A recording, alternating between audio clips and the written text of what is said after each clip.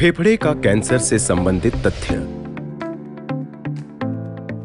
भारत में हर सात मिनट में एक शख्स में फेफड़े के कैंसर का पता चलता है।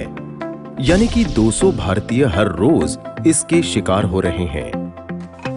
भारत में हर आठ मिनट में फेफड़े के कैंसर से एक मौत हो रही है। यानी कि इसके कारण 175 भारतीय हर रोज मर रहे हैं। भारत में कैंसर से होने वाली मौतों में फेफड़े का कैंसर का दूसरा स्थान है। और इसमें भी अधिकांश का कारण धूम्रपान है। अनजाने तरीके से धूम्रपान का धुआँ लेना, रेडॉन से अनावरण, आनुवंशिक संवेदनशीलता, विकिरण,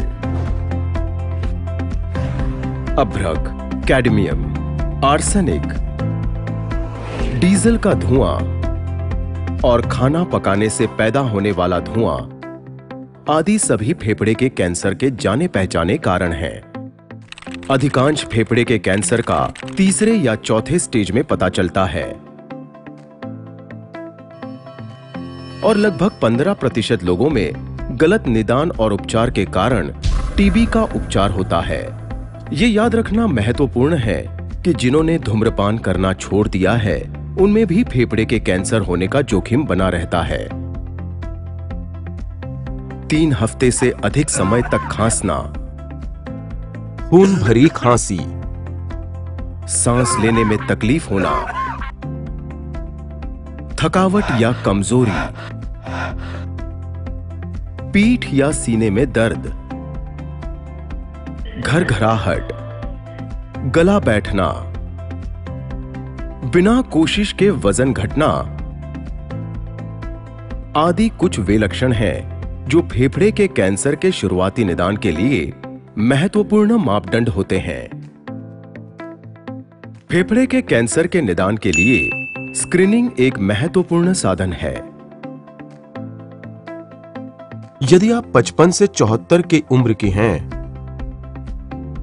और पिछले 30 वर्षों से हर रोज कम से कम एक पैकेट या 15 वर्षों से दो पैकेट सिगरेट पीते आ रहे हैं, अभी भी धूम्रपान करते हैं, या पिछले 15 सालों में छोड़ दिया है।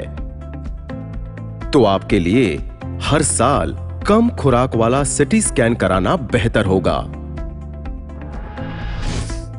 अमेरिका में पचास हज़ार से अधिक लोगों पर कराई गई राष्ट्रीय स्तर की फेफड़े की ट्रायल स्क्रीनिंग ने दिखाया कि फेफड़े के कैंसर से होने वाली मौतों के जोखिम में 20 प्रतिशत से अधिक की कमी आई जिनोमिक परीक्षण के कारण ईजीएफआर और के जैसे अनेक प्रमुख म्यूटेशन खोजे गए, जो कि विभिन्न प्रकार के फेफड़ों के कैंसर के निदान के लिए महत्वपूर्ण हैं। ईजीएफआर और एएल के जैसी जीनों के भिन्न रूपों के कारण हाल के बरसों में और तेज प्रगति हुई है, क्योंकि ये हर इंसान के लिए अलग अलग उपचार तय करती है। जो अधिक लंबा सर्वाइवल पेश करता है। फेफड़े के कैंसर की स्क्रीनिंग तथा कैंसर के म्यूटेशन के बारे में अधिक जानकारी के लिए कृपया अपने ऑन्कोलॉजिस्ट से संपर्क करें। आइए। आज फेफड़े के कैंसर की रोकथाम के सहायक रणनीतियों के कार्यान्वयन व जागरूकता को फैलाने के लिए शपथ लें। सही समय पर कैंसर की जाँच करने से और अनुकूलित उपचार के साथ ज़िंदगी बच सकती है। फेफड़े के कैंसर में उत्तर जीविता की संभावना से संबंधित अभियान में हमारे साथ शामिल हों।